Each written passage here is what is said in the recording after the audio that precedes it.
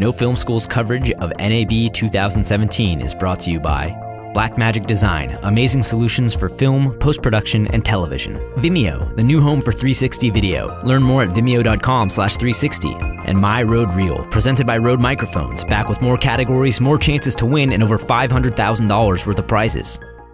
Hey, what's up? I'm Michael with No Film School. We are here with Adam at DJI showing off the new Ronin 2, which just got announced yesterday afternoon. How's it going, Adam? Doing great. Thanks for coming by. Of course. Uh, this thing looks a lot more robust, a lot more badass. What's going on? So, as you can tell, the form factor is a lot different from the you know single carbon ring all around to the um, the uh, the internal cabling. So you don't have as many cables hanging off it. You've got data power and SDI signals running inside here, all the way to on the back side of it, we have a control panel on the unit. So if you're in an environment where your phone can't connect to run the controls, you can do this on a touch screen, or even if it's really cold out and you're wearing gloves, on, on physical buttons on here.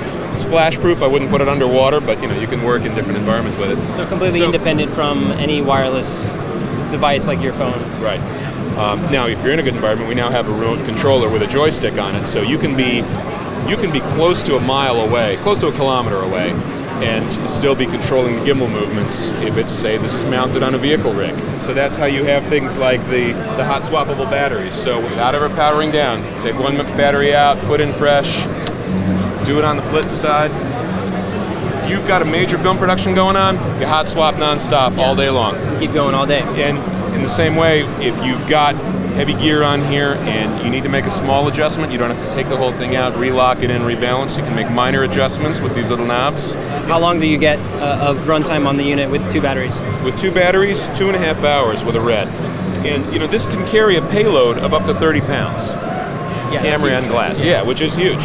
Um, you, you, know, this is made for yeah, this is made for serious cameras, serious glass, when you need to have that kind of power and control all day long on a film set. You know, it's been re-engineered for those kinds of needs, all the way down to the uh, to the, the fold-out feet here. Right. For the rest of the time, you don't need a stand, you don't need anything you can just set it down. But it is uh, the versatility of it lets you mount it one of our demonstration videos. You can find it online. Shows how you can switch to from handheld to pop it onto a vehicle mount. The vehicle runs away in the same shot you know, it's the idea is to get the, the camera moving wherever you need it and have the same kind of rock solid stability you've gotten used to. Awesome. Any idea when this is available and, and the price point? This is going to be available by the end of the second quarter this year, so look for it in June. And uh, the price will be uh, commensurate with the amazing value you're going to get out of using it. All right, that's Adam with DJI talking about the new Ronin 2, which will be available soon at a price to be determined.